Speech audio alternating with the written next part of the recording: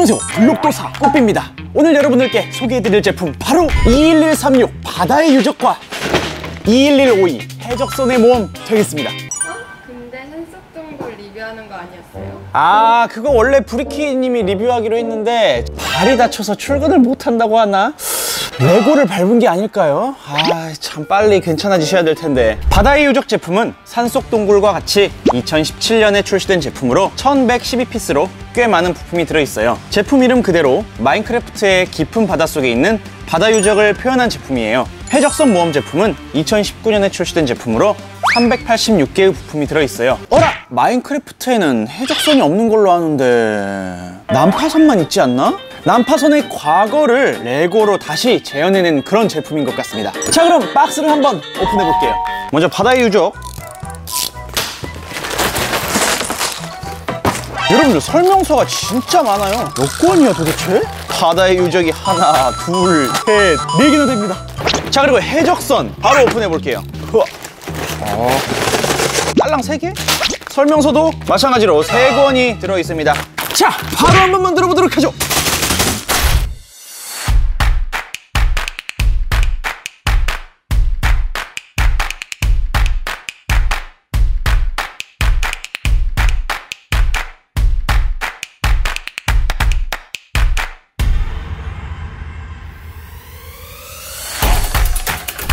다 만들었습니다. 바로 제품을 가까이에서 살펴볼게요. 먼저 바다 유적부터 살펴볼게요. 피규어는 알렉스, 스티브, guardian, elder guardian, 오징어가 들어있고요. 먼저 알렉스 각반을 제외한 enchant된 갑옷이 풀세트로 장착되어 있습니다. enchant 검도 하나 들고 있네요. 스티브입니다. enchant된 곡괭이를 하나 들고 있고요. 음, 뭔가 알렉스에 비해 좀 주연이 아니고 조연 느낌이 강하게 나는데 음, 이 세트에서는 어쨌든 알렉스가 좀 주연인가 봐요. 다음은 guardian이에요. 바다의 유적을 지키는 잡몹 같은 존재인데요. 잡아봤자 아이템 별거 안 줍니다 여러분들. 매우 아프고 귀찮기만 한 몹쓸 존재죠. 이 친구가 바로 elder guardian이에요. 보스몹인데 유적 하나당 두세 마리 정도는 꼭 있는 친구죠. 스펀지를 주긴 하지만 별건 안 줘요. elder guardian이 레이저를 쏘는 gimmick을 shooter로 재현해놨어요. 이 꼬리로 움직이면 발사되는 것 같더라고요. 다음 오징어입니다. 아, 진짜 오징어같이 생기지 않았나요? 바다나 강에서 흔히 보이는 그런 오징어고요. 신기하게도 guardian들이 오징어를 진짜 죽이더라고요. 그리고 특이한 블럭들이 여러 개 들어있어요. 금블럭이 8개가 들어있습니다. 이 금블럭 같은 경우는 금괴 9개를 조합하여 만들 수 있는 블럭이죠. 그리고 스펀지 블럭이 3개 들었습니다. 물에 젖은 스펀지와 마른 스펀지를 파란색과 진회색 plate로 표현했습니다. 자세히 보시면 이게 물을 머금은 스펀지 brick은 파란색 블럭이 들어가 있고요. 물을 안 먹은 스펀지 brick은 회색 블럭이 들어가 있는 걸 볼 수 있습니다. 그리고 이건 화로예요. 물을 잔뜩 머금은 스펀지를 화로에 넣으면 무슨 일이 생기는지를 우리 꾸러기 여러분들 알고 계시나요? 스펀지가 말라요. 물 먹은 스펀지가 진짜 이렇게 마르는 그런 모습을 보여주는 내용이 아닐까 싶습니다. 자 이번에 바다 사원 전체적인 모습을 한번 살펴볼게요. 전체적으로 피라미드 형태의 다리가 달린 듯한 그런 모양을 하고 있습니다. 끝이 뾰족한 이집트 피라미드보단 끝이 이렇게 평평한 멕시코 피라미드 느낌을 닮았네요. 전설의 약간 아틀란티스 유적 같기도 하고요. 실제 마인크래프트보다 어쨌든 많이 축소가 됐어요. 진짜 마인크래프트 바닷속에 들어가면은 정말 거대한 사원이 이렇게 쫙 펼쳐져 있는데 이 친구는 그거에 비해 많이 축소된 그런 모습을 하고 있습니다. 바다 사원 상단부는 이렇게 분리가 되는 형식이고요. 양 옆쪽도 펼칠 수 있게 되어 있습니다. 이렇게 분리된 내부를 보시면은 바다 유적 중심부에 큐브가 들어 있습니다. 바다 유적 뒷면에 있는 부분을 아래로 내리면 큐브가 열리면서 안에 있는 금블럭 8개가 나오는 gimmick이 있습니다. 원래는 이걸 부셔야 나오는 건데 레고 스타일로 예쁘고 재밌게 잘 해석한 것 같아요. 그 다음 바다 유적 입구예요, 여러분들.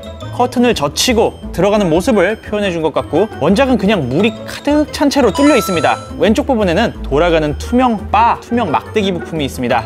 여기다 guardian을 꽂아 마치 바다 사원을 지키기 위해 주변을 배회하는 듯한 그런 표현들이 가능해 보이네요. 어, 생각보다 상당히 디테일하고 게임과 많이 흡사해서 좀 놀랐습니다. 다음 해적선을 살펴볼게요. 피규어는 알렉스, 해적 플레이어, 불타는 좀비, 앵무새, 거북이, 돌고래가 들어있습니다. 오, 크기에 비해 피규어가 이 바닷속 유적보다 훨씬 더 많이 들어있네요. 먼저 알렉스를 살펴볼게요. 알렉스는 낚싯대를 하나 들고 있습니다. 음, 바다 유적에서는 거의 full parts를 맞추고 있었는데 이 해적선 제품에서는 그냥 딸랑 낚싯대만 하나 들고 있네요. 해적 플레이어입니다. 해적 스킨을 낀 플레이어고요. 황금색 검을 들고 있습니다. 약간 그 캐리비안의 해적 영화 조니뎁 의상이 떠오르네요. 다음은 좀 특이한 게 불타는 좀비가 들어 있습니다. 좀비는 해가 뜨면 불에 타서 죽는데 그런 부분을 이렇게 레고로 잘 표현을 해준 것 같아 보이네요. 다음은 앵무새입니다. 해적들의 영원한 친구 앵무새. 실제 난파선에서는 앵무새 그딴 거 없습니다. 정글에서 나오는 거죠, 앵무새는. 다음은 거북이입니다. 요 거북이 같은 친구는 진짜 이 마인크래프트 바다에서 보기 힘들다고 하더라고요. 저는 이 친구를 아직 만나본 적이 없어요. 아, 마인크래프트를 해본 적도 거의 없습니다. 그리고 마지막으로 돌고래입니다. 진짜 귀엽게 생기지 않았나요? 야, 레고로 어떻게 돌고래를 이렇게 잘 표현했을까요? 물고기를 먹으면 난파선으로 데려다주는 그런 친구죠. 빈 물약병, 해적선에 있는 걸 보면 물약 대신 럼주가 들어가 있을 가능성이 보이는 거죠. 해적선에 빠질 수 없는 보물상자예요. 이 보물상자를 열면 금조각이 몇 개 들어있습니다. 다음은 보트! 색을 보아하니 자작나무로 만든 보트인 것 같아요. 두 개의 삽이 이 보트의 노 역할을 하는 것 같습니다. 다음은 전체적인 섬, 섬의 전체 적인 모습이에요. 약간 섬이라고 하기에는 조금 크기가 작은데 잘 표현되어 있네요. 회색 계열 블럭으로 이루어진 것으로 보아 바위로 이루어진 섬인 것 같아요. 보물상자가 숨겨져 있고 거북이의 알로 추정되는 것도 보이네요. 이 앞부분은 전체적으로 해골 모양을 하고 있어요. 왜 우리 옛날 해적 시리즈 레고 보면은 해골 모양으로 된 레고들이 많이 있었는데 그런 거에 오마주 살짝 그런 느낌도 없지 않아 있네요. 그리고 이쪽 옆에 보시면은 사탕수수가 레고로 잘 표현되어 있습니다. 다음 해적선 본체를 살펴볼게요. 마인크래프트 in-game에서 볼 수 있었던 난파선에 빨간색 돛이 있습니다. 게임 상에서는 이 빨간색 돛이 없거든요. 그래서 이 레고에서는 빨간색 돛을 표현해줬습니다. 해적선에 진짜 실제 출항했던 그런 느낌을 레고가 다시 살려주고 싶지 않았나 싶은 그런 생각입니다. 돛에 가운데에는 해적선의 상징인 검은색 바탕에 하얀 해골 문양이 박혀 있고요. 돛대에는 보물의 위치가 숨겨진 것으로 추정되는 지도가 있으며 돛대 옆에 항해에 필수적으로 필요한 나침반이 하나 들어있습니다. 배 중간에는 적이나 반란을 일으킨 사람을 처형할 수 있는 열반지가 나오는 기믹이 들어있고요. 배 뒤쪽에는 스켈레톤의 머리가 두 개 있습니다. 약간 그 해적선 특유의 음산한 그런 기운을 연출해주고 싶었던 그런 부분은 아니었을까요? 하지만 마인크래프트 특유의 그런 네모네모한 이런 모습들 때문에 그렇게 무섭지는 않아 보이네요. 측면에 보면 무언가 쏠 수 있는 대포 같은 장치가 있고요. 마인크래프트에 대포가 있지는 않고 화살 쏘는 장치 정도 될 것 같네요. 어? 오라! 배가 분리가 됐는데요? 잠깐! 돛색도 그렇고 이거 2132 바라쿠다의 해적들 레고 아이디어즈랑 비슷한데요? 저만 그렇게 생각하나요? 음, 되게 비슷하지 않나요?